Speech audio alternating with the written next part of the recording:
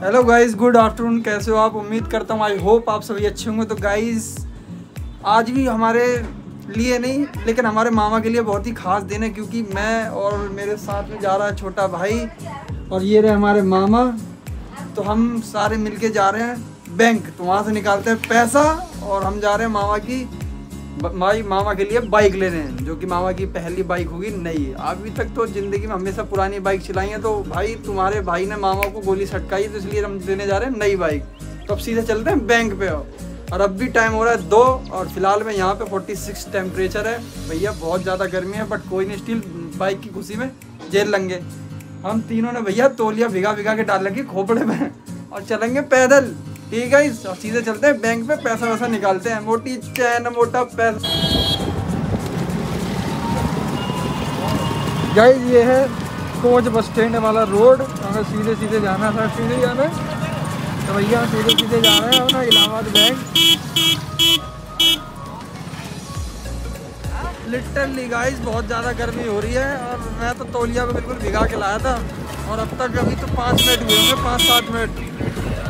ये तौलिया भी सूख गई अब देखते हैं कितना टाइम लगेगा यार। लिटरली यहाँ पे बहुत ज़्यादा गर्मी हो रही है। गाइस ये रही हमारी इलाहाबाद बैंक भाई कुछ ऐसा यहाँ पे रोड है। और ये सीधा सीधा रोड चला जाता है बजरिया की तरफ़। हम चल रहे हैं बैंक के अंदर क्योंकि भाई बाहर ना बहुत ज़्यादा आग बरस रही है। हम आ गए हैं फ़िलहाल में अभी टी के शोरूम पे बट हमें जाना है हीरो के शोरूम पे। लेकिन यहाँ पे देखेंगे पहले बाइक और सामने हो रहा बजाज का शोरूम गाइस उसमें भी चेक करेंगे कौन सी बाइक हमें लेनी है। तो दो तीन शोरूम देखने के बाद फिर अपन डिसाइड करेंगे बाइक कौन सी लेनी है। तो अंदर चलते हैं शोरूम के फिर देखते हैं हमारे मामा कौन सी बाइक पसंद आ रही है। ठीक है? भाई ये खड़ी है बाइक ये सारी बाइकें हैं भाई। फीवर स्पोर्ट हमारे हमें जो लेनी है बाकी तुम्हारी रेडियोन ये वाली है और एक राइडर इनके पास फ़िलहाल में भी तीन बाइक अवेलेबल है बाकी दो मॉडल अभी इनके पास है नहीं है शायद अंदर है। तो गाइस हम सामने वाले बजाज के शोरूम में भी चेक कर ले रहे हैं, उसमें कौन क्या रहा है। ठीक है गाइस चलते हैं सारे शोरूम में। आओ, देखते हैं। गाइस उसी रोड पे ही लेफ़्ट में पड़ता है मतलब 100-200 मीटर आगे बजाज का शोरूम वही, ये खड़ी अपनी पल्सर, ये रही अपनी प्लेटना तो प्लेटना का रेट फ़िलहाल में छियासी हज़ार रुपये है।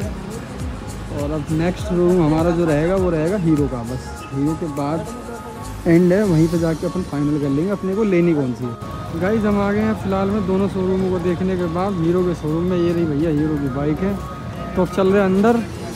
गाइज़ हमने बाइक तो यहाँ पे देख लिया शोरूम पे बट हमें काफ़ी बाइकें देखने के बाद हमें एक बाइक पसंद आ गई एच एफ़ डीलैक्सी और ये वाला कलर है, देख लो। ब्लैक एंड सिल्वर कलर है। फ़िलहाल में सेल वाली है बट लोग ले रहे हैं विदाउट सेल क्योंकि अभी थोड़ी सी पैसे थोड़े कम है, इसलिए हम ये वाला कलर में फ़ाइनल कर दिया।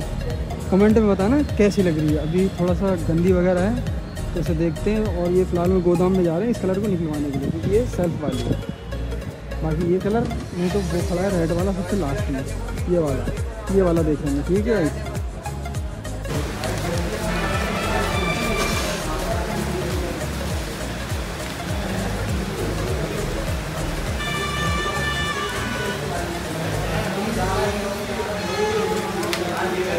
गाइज़ हमारी बाइक हो गई है रेडी तो फाइनली देख लो कुछ इस तरीके से इन्होंने एक्सेसरीज वगैरह लगाई है.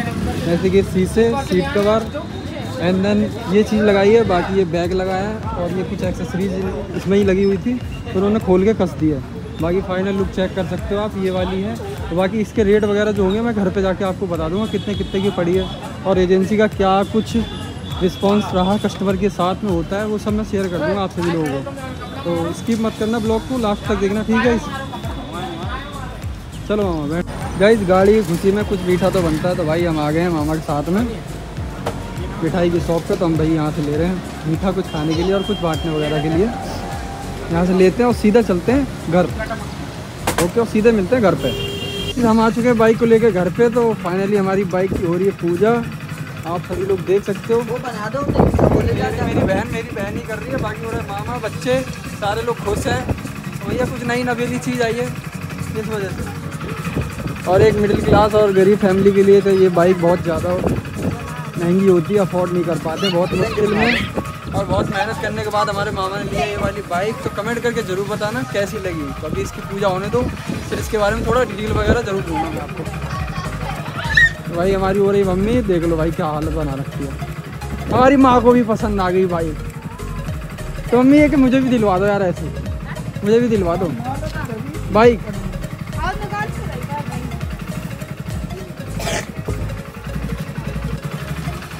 लो जी गाइस हमारी बाइक की हो गई पूजा तो अब जाने के लिए रेडी तो भाई इस पर घूमने कौन कौन जा रहा है फिर बता दो। हम जाएँगे पहले तो। सारे भाई घूमने के लिए रेडी हो गए। भैया इसमें तो पेट्रोल वेट्रोल डलाना पड़ेगा। अब हज़ार रुपया को पेट्रोल डला दिए तुम।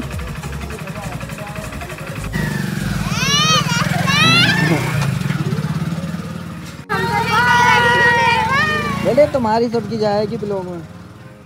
गाइज़ आप लोगों ने ब्लॉग तो देखा होगा कितना मज़ा आया। भाई साहब बहुत खुश था मामा भी खुश है। बाकी सारे मामा के बच्चे जितने सब घर फैमिली पूरा हर कोई खुशी था घर में।